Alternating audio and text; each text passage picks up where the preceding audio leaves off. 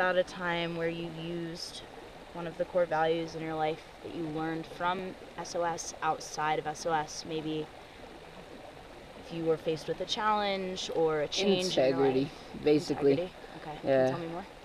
I've used integrity outside of uh, SOS and stuff, like big time. Like, I don't know how to put this, but with the friends that I got, like I said over there, friends that I got, the places that I've been, you know, all that, I really wouldn't be like a good person if I didn't have integrity in my life. I have to stay true to myself and know who I am and I'm not someone that goes out and does bad stuff.